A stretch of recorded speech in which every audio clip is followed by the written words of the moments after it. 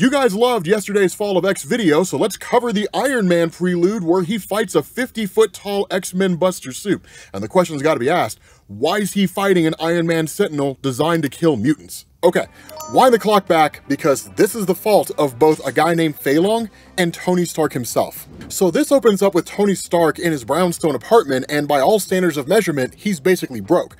Why? Because in a story leading up to this, Tony Stark had tracked down what was called Source Control. It was basically a black market arms dealer organization, but in order to ensure that those arms and armament couldn't be sold out on the open market, he ended up using most of his money to buy it all up and then dismantle it.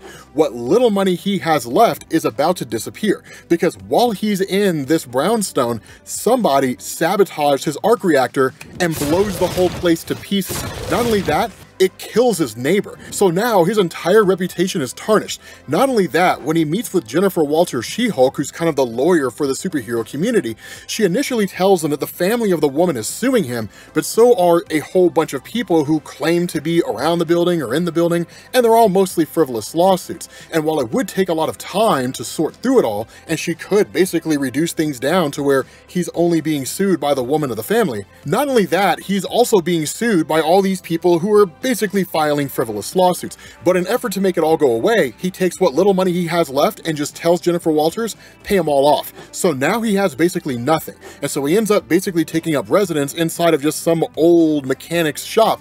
And like that's it. But the big question that has to be asked here is, who did this? Who caused this in the first place? Well, for the most part, any lead out there is virtually non-existent, and the best thing he has to go on is some random villain out there who just starts launching an attack. Tony Stark's able to defeat this guy, but when he rips his mask off, he realizes it's a guy who's been kidnapped and has been missing for two days. The problem with this is he takes a momentary reprieve to go to his Alcoholics Anonymous meeting because Tony Stark's an alcoholic in the comics, but then he passes out, only to wake up in Hell's Kitchen, New York. Now, he is rescued by Riri Williams, and between the two of them, they start talking over what's going on, who's coming after Tony Stark, and she agrees almost wholeheartedly Tony didn't blow up his own brownstone, and whoever this villain is that's operating behind the scenes certainly has some kind of vendetta for him. But then the living laser just kind of appears out of nowhere and starts attacking the city. Now, the living laser has historically been a minor villain of Tony Stark, not the most important character there ever was, but he is important to this story. And the reason why is because he claims Tony Stark came after him, attacked him, subdued him, and then started experimenting on him. Now, Stark has no clue what he's talking about, right? He's like, I have not seen you in forever, and while you are certainly a villain that should be taken seriously, kind of, sometimes I guess, I'm not the guy who kidnapped you. But as far as a living laser is concerned, it's true. Tony Stark went after him. Now, at this point in time in Marvel Comics, Riri Williams has the 10 rings of the Mandarin, and while they do have, or at least grant her, a variety of powers, for the sake of this discussion, one of the things it does is it allows her to read and project the mind of the living laser. And when she projects his own memories out to Tony Stark for him to see, and even for her to see, they come to the realization Tony Stark really did come after him. He really did attack him, but it wasn't actually Tony Stark. It was someone who looked like Tony Stark. And so following this, we pick up with what appears to be the assassination of a guy named Zong Wei.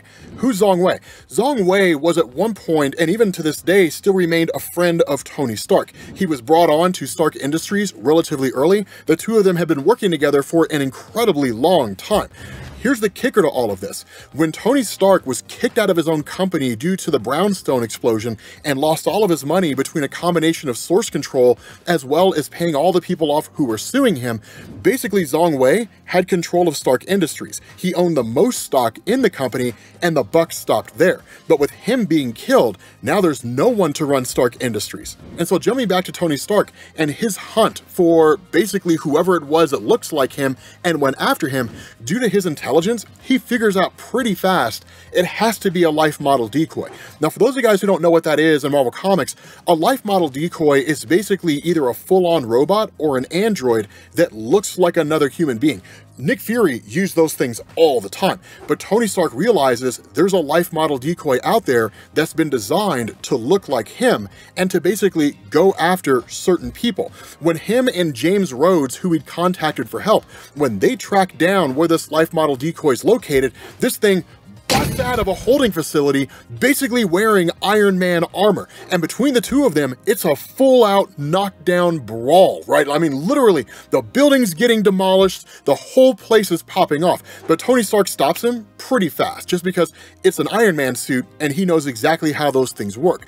But when he freezes the suit and he rips the helmet off, his suspicions are confirmed it is a life model decoy. Now it does taunt him for a little bit and it's really speaking to him, but it's more like a recorded message. Somebody speaking through this life model decoy. It must be so strange for you to hear me speak with your own voice. You spared many lives by discovering this lab before I revealed it tomorrow. I'll admit, you were so slow out of the gate that I was worried you'd be yet another boring disappointment. So basically, this person operating behind the scenes, controlling this life model decoy, taking these pot shots at Tony Stark and trying to destroy his life, they know who he is. So the question has to be asked, who in the world is it? Now, of course, shortly after revealing this gigantic message, the life model decoy effectively detonates and starts to explode. So, of course, Tony Stark and James Rhodes have to get out of there as fast as they possibly can, only for us to switch over to the person who's actually behind all of this, which turns out to be a guy named Fei Long. So, sidetrack from this story for a second. Who in the world is Fei Long? So Fei Long has historically been an X-Men villain, and he's a relatively new addition to Marvel Comics. He's only been around for a couple years. But the idea behind Fei Long is that his origin ties directly into Jonathan Hickman's Avengers and New Avengers from 2013, which is to say, during that storyline, Mars was terraformed by basically some people out there that we don't need to go into, and it was turned into a world that could become habitable. Fei Long basically led a human research group that would take this terraformed Mars and turn it into a place that humanity could colonize. Such as it was, all that went belly up when it was effectively abandoned. So all the money he had invested had basically just been thrown away, and he largely blamed the Avengers for it. Now, where his follow-up was to travel back to Mars and simply just terraform the planet itself due to the fact that Fei Long's so incredibly intelligent, by that point in time, a portion of the mutant population on Earth had transitioned to Mars. Why does that matter? Because if you're following the X-Men comics, you know that the mutant population lives on Krakoa. They're their own country. So when some of them went to Mars, Mars became an extension of their own country. It would be like if the United States took over Cuba and Cuba became part of the USA. Russia couldn't just go there and launch a military invasion without sparking a war. And that's what would have happened if Fei Long had showed up to Mars and just started terraforming it. It'd be considered an invasion and an act of war. So all the money, all the time, all the resources he had invested was all for nothing. And so ever since then, he's largely been an enemy of the X-Men. The other kicker behind all this is Fei Long was responsible for the death of Zong Wei, because when Zong Wei was killed, all the stock he owned in Stark Industries was dumped onto the open market which Fei Long immediately bought. And now he is the one that runs Stark Industries. Stark doesn't even run his own company anymore. And so it's one of the most methodical takeovers and attacks on a superhero that exists out there in Marvel Comics. It's amazing. But when Tony Stark confronts this guy, they're surrounded by people, cameras, everything. And where it takes every ounce of strength Tony Stark has not to kill this guy, at the end of the day, he's still able to keep himself calm to a degree, and even go so far as to say, I kind of admire your tenacity here. Guys like Obadiah Stane and Justin Hammer never would have had the gumption to pull off a stunt like this. So there is something to be said about your intelligence.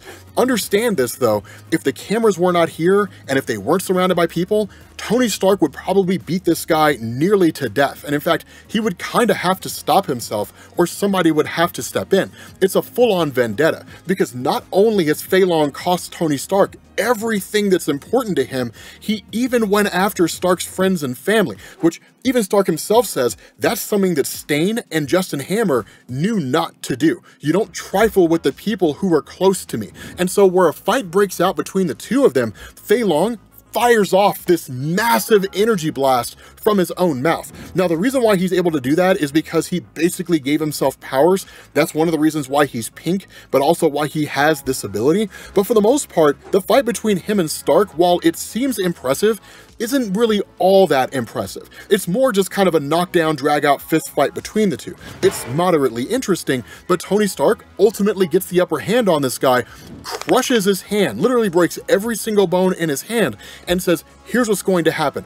I'm going to give you to the rest of the day, but you're going to go out there into the world. You're going to tell everybody what you've done, that you blew up my brownstone, that you went after the people that were closest to me, you killed my friend Zong. You are the one that orchestrated all of this because at this moment right now, the destruction of the brownstone, the death of Zong Wei from a repulsor blast to the chest, it's all being viewed as the actions of Tony Stark. He is effectively the most wanted man in the world right now. But if Fei Long comes out and reveals his actions and all of this, it exonerates Stark. Life can go as close to back to normal as it can be for a superhero on Earth, and then everything is more or less sorted out. Of course, Fei Long doesn't do any of that because he's a villain and he does what villains do.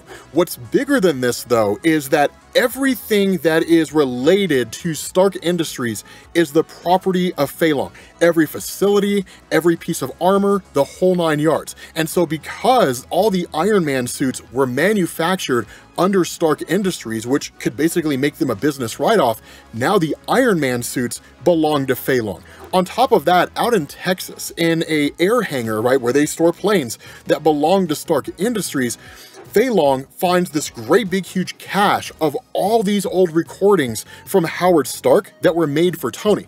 Under normal circumstances, that wouldn't matter. For this story, it matters immensely, specifically with regards to the X-Men Buster suit. The reason for that and the reason why that suit's so powerful is that while we don't necessarily get the ins and outs of what happened, what we find out is somewhere along the line, Howard Stark was working alongside Adam Brashear, the Blue Marvel, one of the most intelligent and powerful beings in the entirety of Marvel Comics, and that between the two of them, they had discovered an element that did not exist on the periodic table. That element is revealed to Fei Long by Howard Stark, where in reality, it was simply just supposed to be revealed to Tony.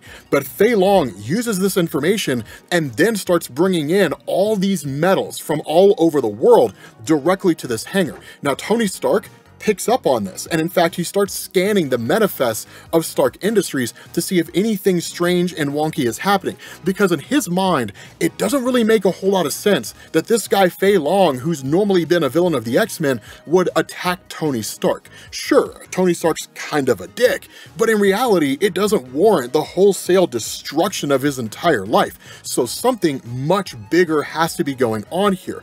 Fei Long has to be after the resources of Stark not Stark himself. And so by analyzing the import and export manifests of Stark Industries, Tony Stark realizes that all these metals have been moved to this hangar. And when he gets in there, he comes face to face with a 50 foot tall Sentinel imbued and built with Stark tech. And this Sentinel is powered by whatever this mysterious element happens to be. Now, make no mistake here, Sentinels in Marvel Comics are incredibly dangerous. In Days of Future Past, they took over North America, wiped out most all humans and superpowered beings alike, and those who survived were either thrown in internment camps or living underground as a kind of resistance force.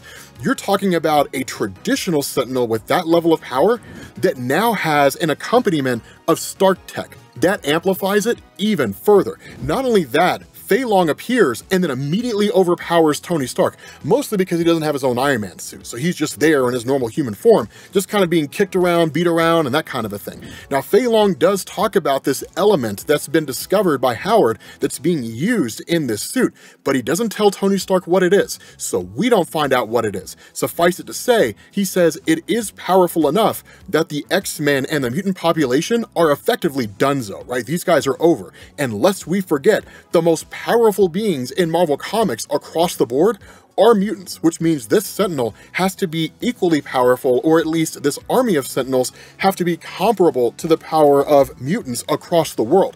And a full-on test of what this thing can do happens when Long sends it after Tony Stark. He literally puts Stark in his own suit and says, I want you to be at your best when you see what this thing can do. And it absolutely annihilates Stark. This guy never had a chance. Not one chance. Literally, Fei Long says, attack the intruder, and it immediately goes after Tony. And all Tony can do, firing off repulsor blasts left and right, which would normally be enough to take out any kind of robot out there, they just zing off this thing. It's almost as if it's bulletproof, right? It's incapable of being harmed by the power of Iron Man. So the best Tony can do is just flee for his life while Fei Long watches him fly away, all the while musing over the fact that if Iron Man couldn't stop him, what chance do the X-Men have? With that being said, guys, we'll be back next Wednesday with more Fall of X. If you guys need to get caught up, make sure you click this playlist, and I will catch you all later.